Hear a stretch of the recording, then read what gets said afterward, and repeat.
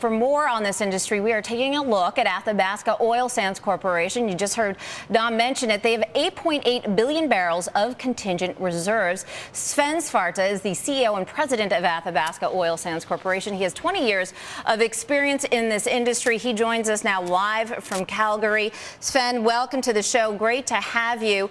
Um, let's start with Dom finished.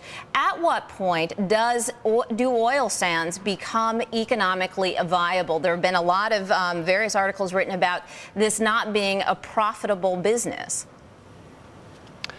Well, first, thanks for being invited. Uh, oil sand, one should know that there are two different types of oil sands. You have mining industry and you have in situ. In situ means you actually recover it by drilling wells. Uh, there is a very, very large difference in economics with those two. Typically mining needs probably more than 80 WTI to be economic.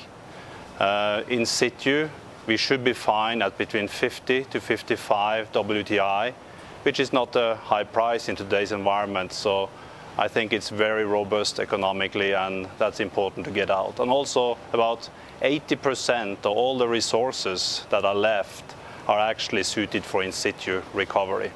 Let's talk a little bit. Your company, Athabasca's, um, does not really, it, your focus is not mining, right? You use something called steam-assisted gravity drainage, which makes it easier to extract the oil from the sand, and it's cheaper.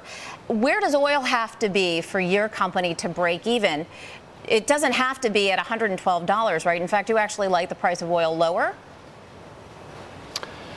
Well, we always like the price of oil high, but it does heat the economy, economy up in Calgary if the prices go high. And as I said, steam assisted gravity, like we do, everything we have is in that category. We can easily make project economic at 50 to 55 WTI range. And, uh, and obviously for us, if it's in 70 to 85, that's a great range for us.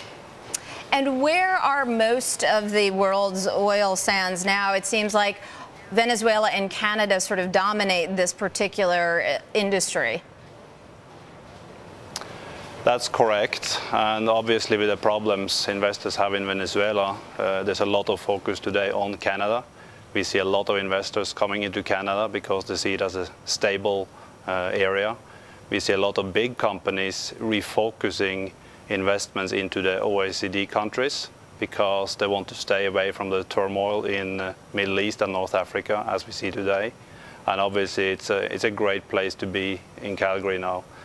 On top of that, uh, Alberta is a place where you can do business. The regulatory environment is extremely sophisticated, uh, stable politically, and also environmental, uh, what should I say, the environmental control they have is very, very high standard, as, as good as anything I've seen around the world before.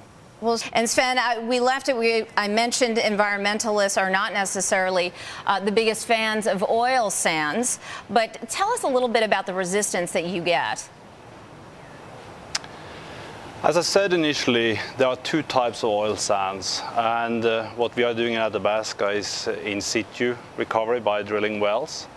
And if you look at operations, they are very much similar to what you see in conventional oil and gas. We don't have any tailing ponds, we don't have any mining craters, and basically uh, we don't take waters from the ponds or rivers.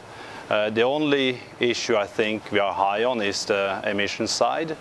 But even if you look at that, you will find that the total emissions from a barrel what we produce is about the same, exactly the same as a barrel you import from Nigeria today and use in the US, and much lower than a barrel of Californian crude.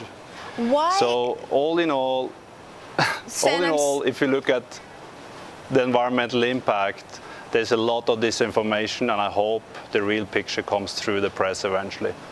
Um, Sven, why are, is there resistance resistance by some governments to using oil sands? I think it comes down to, again, uh, partly they don't know the story, and uh, a lot of people don't bother really to dig enough. But if you dig enough into it, as I said, you will find that it's in line with most barrels you use in the States today. And if you add the ethical parameters such as Canada having no corruption, no uh, what should I say, discrimination against minorities, women, no funding of terrorism, no warfare, you'll probably find that the barrel of Canadian crude is probably the most desirable barrel in the world. All right. You know what, Sven? Unfortunately, we have to leave it there. Thank you so much for joining us. That was Sven Svarte, CEO of Athabasca Oil Sands.